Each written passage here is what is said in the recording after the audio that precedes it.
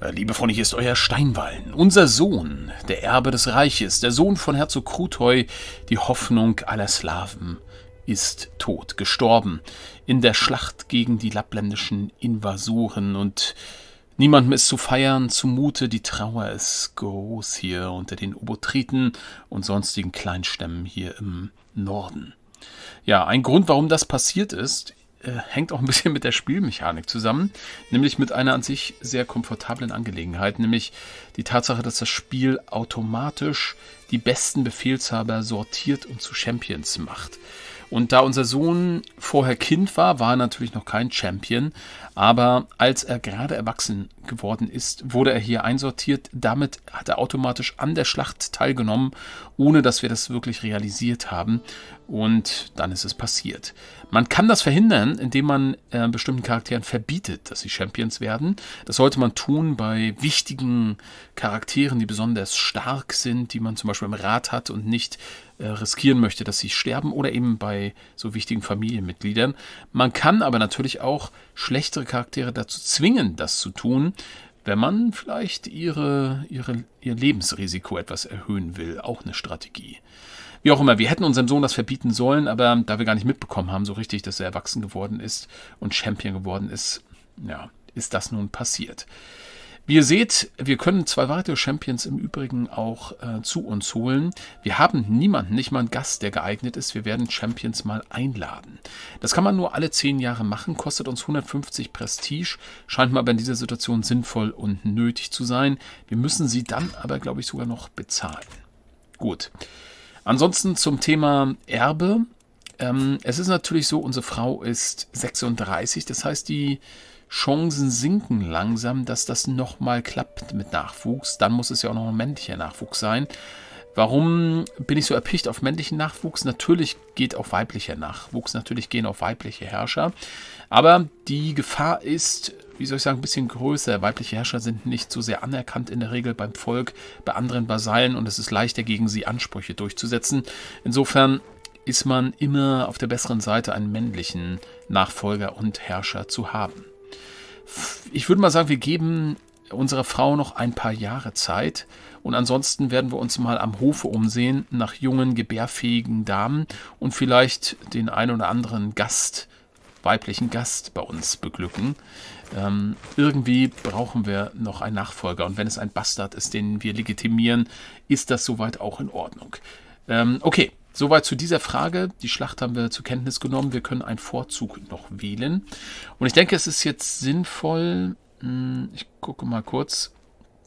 Ja, Kampfgeschick plus 4, standhafter Anführer ist auf jeden Fall eine super Sache, die wir, ja, die wir unbedingt machen sollten.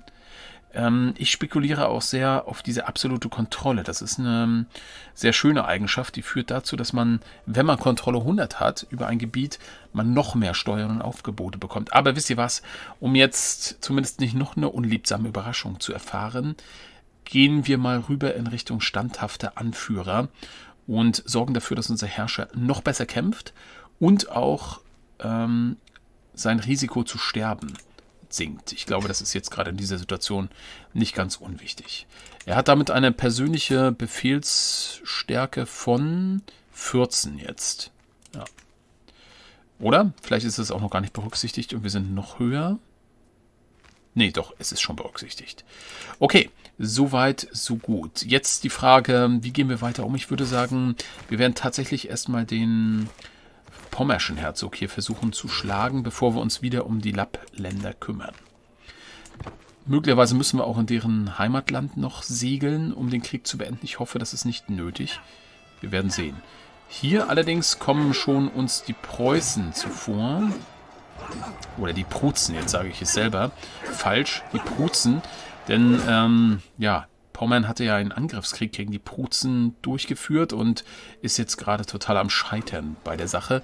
Na gut, unsere, unsere Kriegserklärung hat sich ja auch seinen Teil dazu beigetragen. Ja, wir sollten jetzt aber nicht, natürlich nicht unnötigerweise mit den Prutzen jetzt hier ins Gefecht geraten. Das wäre völlig sinnlos. Und wir sehen, der erste Champion ist eingetroffen. Wafschenek ein 18er. Großartig. guter Mann. Den sollten wir unbedingt rekrutieren, beziehungsweise wir können, glaube ich, hier gleich aus der entsprechenden Ansicht rekrutieren. Oh, und ein Gast, der 15 hat, gehört er auch zu den Champions, die wir eingeladen haben. Wir schauen mal, 20. Ich denke, das leisten wir uns auf jeden Fall. Wir werden ihn rekrutieren und den 15er, der kostet 50. Ach nee, Quatsch, 10. Ja, so wunderbar, noch besser. Den rekrutieren wir auch. So, dann würde ich sagen, verbieten wir zum Beispiel mal unserem Ratsmarschall mit seiner sehr guten Kriegsführung, verbieten wir, und er ist kein guter Kämpfer, verbieten wir es hier bei uns zu kämpfen. Allerdings sehe ich gerade, dass wir, na, uns, uns fehlt natürlich jetzt noch einer. Hm, na gut, warten wir mal. Wir, es müsste noch einer mindestens kommen. Genau, zwei Gäste waren da. Ich glaube, drei sind zugesichert. Um jetzt den Kriegsstand zu bekommen hier gegen Pommern, müssen wir weiter belagern. Jetzt sind allerdings hier prussische Truppen, die belagern. Da hinten, das sind Verbündete der Prußen. Glaube ich zumindest. Ja, genau, das sind Verbündete. Wir müssen also irgendwas anderes belagern. Vielleicht diese Burg hier. Wir müssen bloß zusehen, dass wir nicht aus Versehen jetzt den Prußen in die Quere kommen. Denn dadurch, dass wir das gleiche Kriegsziel haben, sind wir tendenziell auch feindlich zueinander eingestellt. Es kann also zu Gefechten kommen, falls wir denen begegnen. Korruption gesenkt, sehr schön. Mangel an Schultheißen ist vorbei, dieser Effekt. So, die bewachen jetzt, unsere Verbündeten bewachen jetzt hier unsere Hauptburg. Das ist eine schöne Sache, finde ich, dass sie jetzt nicht komplett zurückmarschieren in ihr eigenes Land. So, das Problem ist, wenn wir jetzt hier reinmarschieren, verlieren wir Truppen. Und ich habe auch eine Sache neu von euch erfahren, wie das mit dem Verschleiß hier auf diese Art und Weise äh, funktioniert. Zermürbung. Normalerweise ist mir das System mehr bekannt, dass wenn man über die Versorgungsschwelle kommt, dass wir dann Zermürbung haben. Aber zusätzlich ist es so, wenn man an einer Burg vorbeizieht, nicht an einem anderen normalen Gebiet, dann verliert man ebenfalls nochmal Truppen. Ich weiß jetzt nicht, was da für ein Faktor in Frage kommt, aber hier sind es in der Regel 100. Wie viel haben wir denn hier, die verteidigen? 240. Wir haben 61 Prozent. Ich glaube, wir müssen... Es wäre natürlich am besten, wenn wir die Hauptstadt belagern oder erobert haben, aber das haben jetzt die Preußen getan. Deswegen bleibt uns nichts anderes übrig. Wir müssen das nehmen, was möglich ist. Wir ziehen dort zur Burg und müssen dann eben die 100 Verluste in Kauf nehmen. So hart es auch ist. Sind die 100 Verluste und wir starten jetzt hier unsere Belagerung ohne Belagerungswaffen. Vielleicht auch nochmal... Oh, und das ist natürlich jetzt ein bisschen blöd. Ah, verdammt, jetzt habe ich unnötigerweise die 100 in Kauf genommen, weil wir müssen dringend zurück. Ah, damit hätte ich natürlich rechnen müssen. Die 1500 Mann, die müssen wir natürlich jetzt besiegen und dazu brauchen wir unseren Verbündeten. Der kann da nicht alleine stehen. Ja, Pech. Richtig Pech, richtig doof gelaufen. Ich hoffe, sie sind schlau genug, dass sie dort ihre Stellung verlassen. Ah, mal gucken. Wir sind Gott sei Dank auch... Ja, sehr schön. Schaut mal, wie klug sie agiert. Äh, sie ist rechtzeitig jetzt hier zu uns gezogen in den Wald. So stelle ich mir das vor. Sehr gut. Wir sind allerdings auch schon wieder 100 Mann mehr. Erfreulich. So, und jetzt müssen wir sehen, dass wir sie wieder irgendwie zur Schlacht stellen können. Na, können wir es irgendwie abkürzen? Nee, wir müssen die große Runde gehen. Aber kriegen sie hoffentlich. Dort am besten noch im Wald. Hier können wir abkürzen. Jawohl. Das müsste zur Schlacht führen. Ja, im Wald. Das müsste uns dann noch einen entsprechenden Vorteil geben. Unsere Verbündeten kommen nach. Die Schlacht von Greifswald ist im Gange. Unser Vorteil ist enorm. Wir führen weiter an. Warum haben wir eigentlich einen 25er? Ah, wisst ihr was? Wir bei uns zählt nicht die persönliche Kampfstärke. Ähm, das hatte ich gar nicht, das hatte ich jetzt falsch beachtet. Sondern bei uns zählt die Kriegsführung-Eigenschaft, weil wir komplett der Befehlshaber der Armee sind. Und weil wir unsere eigenen Truppen als Herrscher anführen, wächst der Vorteil nochmal. Dennoch denke ich, ist es wichtig, dass die Wahrscheinlichkeit, dass wir sterben in Schlachten, jetzt reduziert ist. Durch den Perk. Insofern eine gute Sache, würde ich sagen. Und unser Champion Boy konnte Mocken verstümmeln. Sehr gut. Oh, Ein Soldat konnte sogar einen feindlichen Champion... Oh, und was haben wir hier? Hier kommt noch eine Truppe. Wo kommt die denn bitte her? Wartet mal. Okay, also es sind feindliche Champions, aber wie hat er denn? Hat er Verbündete? Er hat Verbündete. Ich weiß nicht, ob die mit im Kampf sind, im Krieg sind. Hm, guck mal kurz mal rein. Tatsächlich, das ist neu. Hier steht 1, aber ich sehe nichts, wenn ich auf Plus gehe. Hm. Bin mir nicht ganz sicher, wie jetzt diese 770 Mann daherkommen. Aber die werden wir auch noch besiegen. Ähm, kein Problem. Oh, verdammt.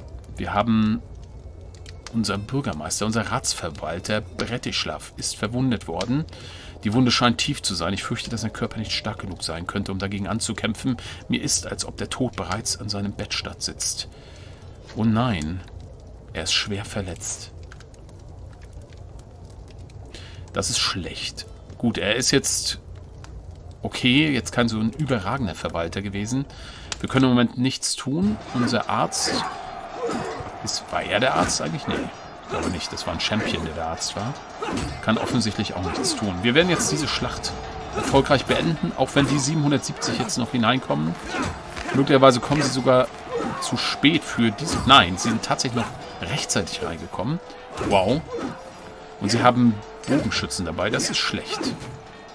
Das ist sehr schlecht. Das wird noch zu einigen Verlusten auf unserer Seite führen. Und wir können nur hoffen, dass die Preußen bald ihren Krieg beenden dort. Okay, unser Champion Mikolas wurde verwundet. Ein gegnerischer Champion konnte verstümmelt werden. Und was passiert hier? Tatsächlich, der Krieg ist vorbei. Ähm, genau, die Prutzen haben gewonnen. Das ist schon mal gut. Und das Wissen des Hofarztes wurde erhöht. Also Jaroslav ist jetzt richtig Arzt. Er war ja vorher Jungarzt. Ist selber auch verwundet, aber ich glaube, er kämpft trotz der Verwundung mit, mit Kampfgeschick 11. Ja, hätten wir jetzt genug Champions, könnten wir sagen, wir entlassen ihn auch aus dem unmittelbaren Befehlsdienst, hm, weil er ja ein guter Arzt ist. Aber nee, wir brauchen, glaube ich, jeden Mann jetzt. Ich erwarte eigentlich noch auf einen weiteren, auf einen weiteren Champion. Okay. So, Schlacht ebenfalls gewonnen. Die Schlacht von Greifswald. Leider auch auf unserer Seite hohe, hohe Verluste. 507. 11% Kriegspunkte immerhin. Die Niederlage der Pommern gegen Prutzen gibt uns allerdings jetzt die Möglichkeit, dort vielleicht endlich zu einem Siegfrieden zu kommen. Wir gucken mal. Forderung erzwingen wird er noch nicht annehmen. Nee. Und indem wir nämlich die pommersche Hauptstadt belagern und erobern.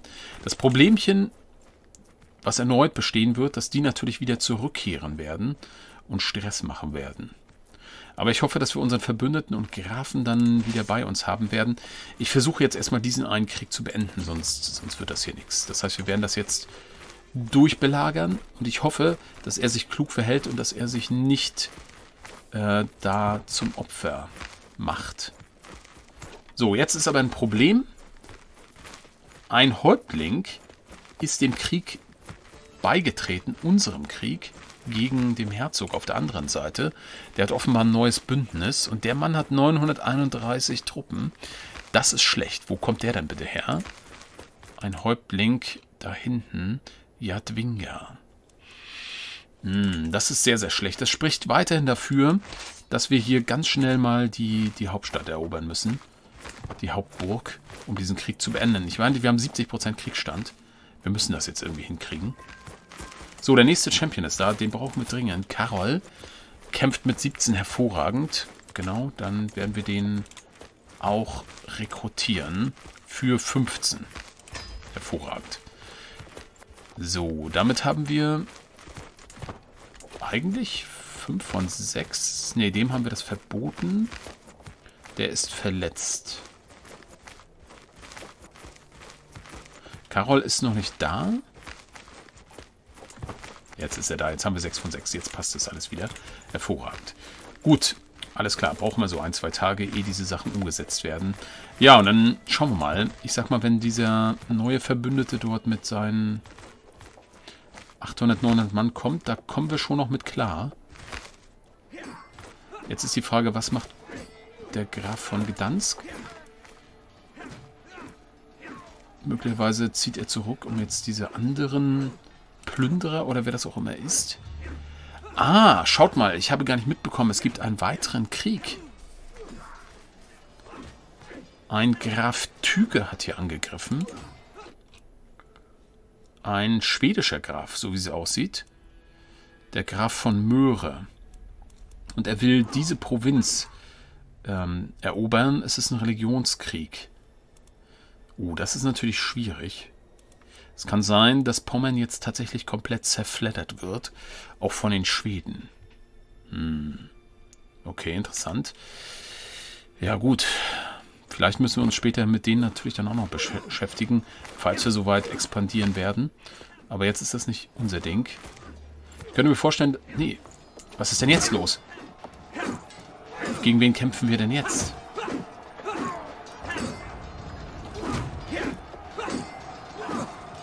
Wartet mal. Hat sich jetzt möglicherweise unser eigener Verbündeter sich hier plötzlich gegen uns gewandt? Oder, oder wo kommt denn plötzlich diese Armee her?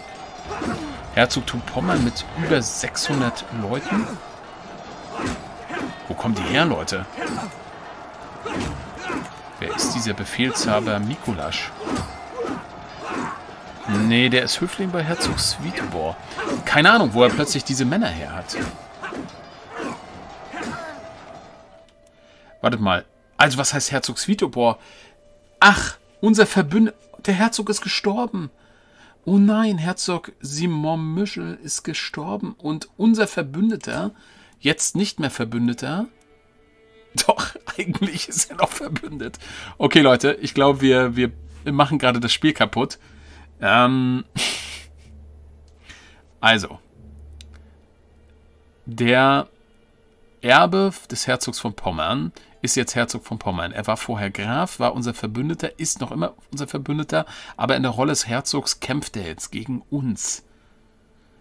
Er ist mit uns hier hingezogen als Freund und hat sich jetzt sozusagen gegen uns gewandt, weil wir natürlich seine neue Hauptstadt belagern. Was für eine skurrile Situation. Hm. Und unsere arme Tochter an seiner Seite. Ich weiß jetzt nicht, diese, diese Schlacht müssen wir jetzt ausfechten, oder? Was bleibt uns anders übrig? Das Problem wird dann, werden dann diese Truppen sein. Ich glaube nicht, dass er nochmal an unserer Seite kämpfen wird, oder? Ich kann es mir nicht vorstellen. Jetzt hat er hier einen Vorteil gegen unser gepanzertes Fußvolk. Wir werden die Schlacht dennoch gewinnen. Aber unglücklich ist das jetzt nun allemal. Oh mein Gott, was passiert denn jetzt? Es gibt einen... Der Herzog von Pomerellen. Es gibt jetzt hier offenbar... Gab es eine Teilung? Es gibt jetzt Pommern und Pomerellen. Wer ist denn Herzog Winomir? Ist das nicht der alte? Nee, der ist 25. Warte mal.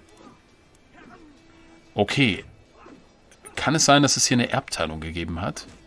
Das muss so sein. Das Herzogtum Pomerellen, wir gucken uns mal die Titelgeschichte an, wurde ererbt, genau.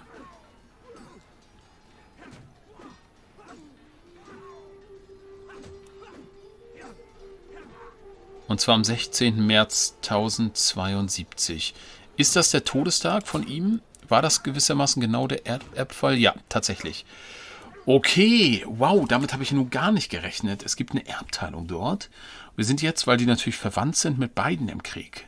Die Situation wird immer komplizierter und außerdem kehren jetzt noch diese 1300 Mann hier zurück. Und langsam ist unser Herr zu schwach, um gegen die bestehen zu können wir, ich würde sagen, wir versuchen jetzt wirklich erstmal hier diesen einen Krieg zu beenden. Das mit der Schlacht klappt schon ganz gut. Oh, der hat auch nochmal 837 Mann. Ach du Schreck. So. Lasst uns jetzt erstmal diese Schlacht gewinnen und hoffentlich diese Belagerung beenden. Wir sind jetzt bei 80% Kriegsstand. Wir gucken kurz mal die Verluste an. 54 zu 209. Das ist gut gelaufen in Greifswald. Ja, das hatten wir schon gesehen in Greifswald. Puh. Ähm, zwei Verbündete. Pomerellen und Jadwinga. Sie haben tatsächlich zusammengenommen mehr Truppen als wir. Wenn sie sich jetzt hier geschickt anstellen, hätten sie kein Problem. Leute, wir müssen diese Sache irgendwie jetzt schnell über die Bühne bekommen. Koste es, was es wolle. Das Problem ist, ich kann diese Belagerung natürlich jetzt nicht hier forcieren. Es sind 18 Monate. Ach du Schreck, weil die auch so einen verdammten Donjon dabei haben. Ein Donjon. Ja, jetzt frage ich mich, ist es nicht sinnvoller, schneller eine, eine kleinere Burg zu erobern? Bringt das nicht mehr Kriegsstand? Ich meine, die Hauptstadt bringt wahnsinnig viel Kriegsstand. Oder vielleicht die Hauptstadt des Herzogtums Pomerellen. Die ist kleiner. Ja, in der Tat. Ich glaube, die Eroberung dieser Burg würde zu lange dauern. Wir... Lustig, er wird uns jetzt tatsächlich immer noch als Verbündeter angezeigt. okay, das sind so hübsche Ausnahmesituationen, mit denen man auch erstmal rechnen muss.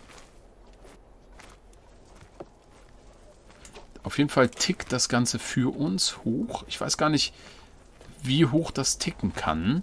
Ähm, bin mir nicht ganz sicher, wo das steht, wie der Maximalwert ist. Kann sein, dass wir automatisch auf die 100% kommen.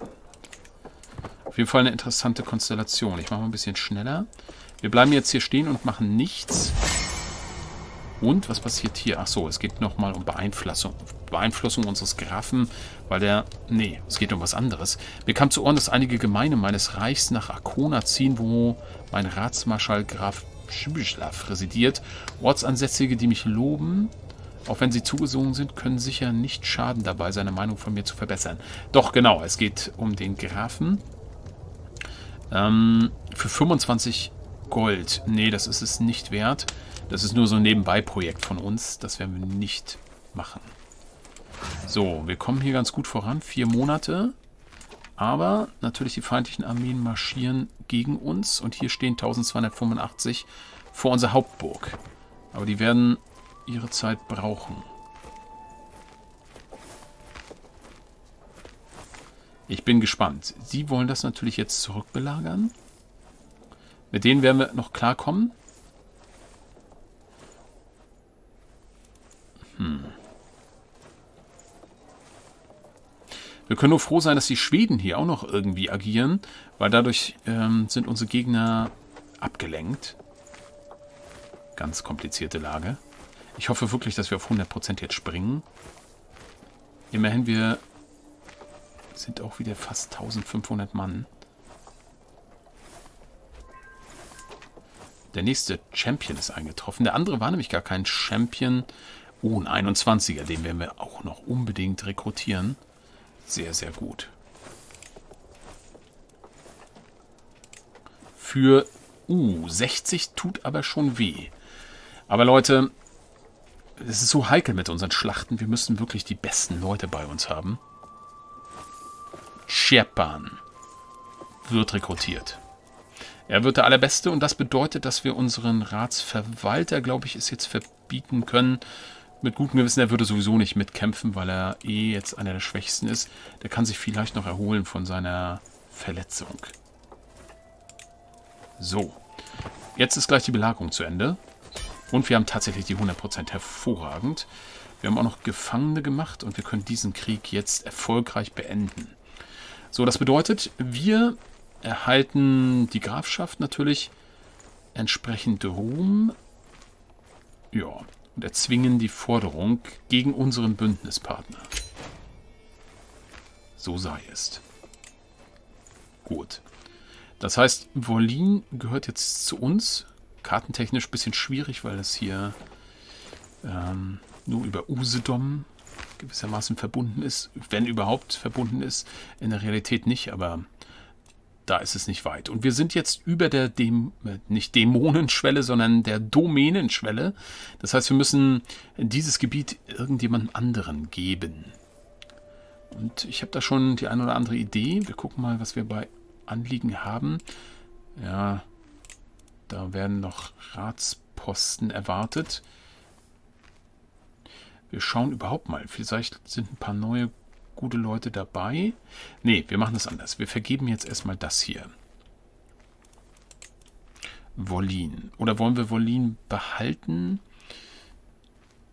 Hm, ist immerhin eine ganz gute Burg. Ne, ich glaube, wir behalten mal den Rest. Das vergeben wir. So, und jetzt gibt es einige Kandidaten. Und ich tendiere tatsächlich dazu... Warum hat er so eine schlechte Meinung?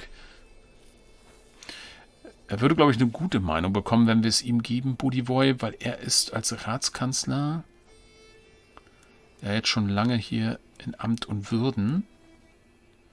Insofern hätte er da durchaus was verdient. Warum? Warte mal, wer war jetzt nochmal Ratsmarschall? Jetzt sehe ich selbst nicht durch. Ach so, Kanzler und Verwalter habe ich jetzt verwechselt. Genau. Ich würde sagen, wir machen das mal. Wir machen unseren Kanzler hier zum Grafen. Gefühllos, keusch, großzügig, fähiger Taktiker. Der wird hier neuer Graf von Wolin. So soll es sein. Er hält 40 Meinungen für 50 Jahre. Der wird sehr, sehr dankbar uns gegenüber sein.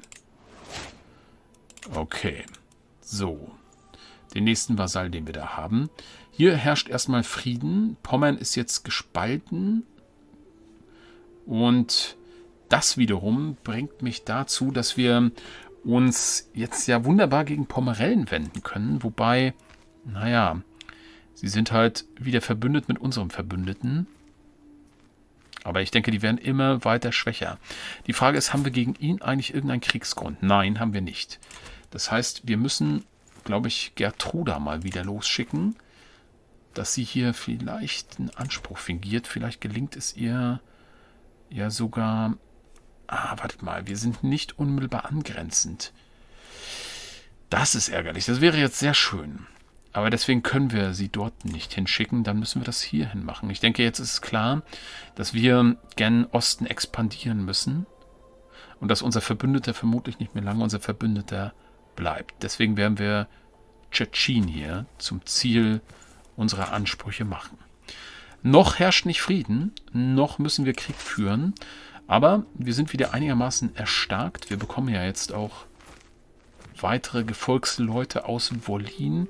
Insofern hoffe ich, dass wir jetzt hier die Lappländer besiegen können, die ja in Wismar schon relativ fortgeschritten bei der Belagerung sind. Verbleiben tun drei Monate. Bis dahin müssen wir sie wieder vertreiben.